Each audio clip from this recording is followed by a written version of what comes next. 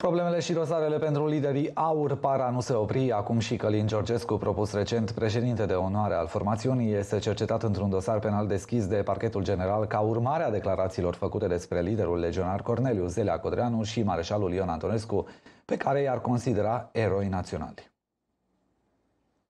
Am uh, două observații. Prima este cea legată de faptul că toți au făcut și fapte bune și altele mai puțin bune.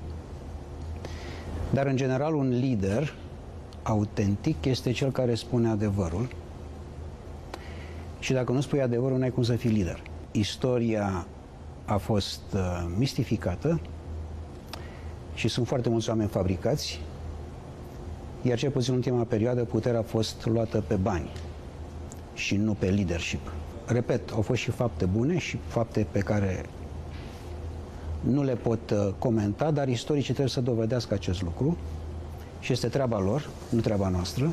Pentru aceste afirmații, procurorii parchetului general i-au deschis un dosar penal lui Călin Georgescu. Acesta spunea în data de 31 ianuarie într-o emisiune televizată că liderul legionar Corneliu Zela Codreanu și mareșalul Ion Antonescu au făcut și fapte bune, iar acum riscă o pedeapsă cu închisoare de la 3 luni la 3 ani și interzicerea unor drepturi. Mai mult decât atât, el a mai spus că Zelea Codreanu s-a luptat pentru moralitatea ființei umane și nu e prima dată când Călin Georgescu îl califică pe Zelea Codreanu și Ion Antonescu eroi prin care a trăit trăit istoria națională, fapta persoanei de a promova în mod public cultul persoanelor vinovate de săvârșirea unor infracțiuni de genocid contra umanității și de crime de război, precum și fapta de a promova în public idei, concepții sau doctrine fasciste, legionare, rasiste sau xenofobe. Se arată într-un comunicat al parchetului. Liderul AUR, George Simion, s-a dezis de spusele lui Georgescu și i-a cerut lămuriri.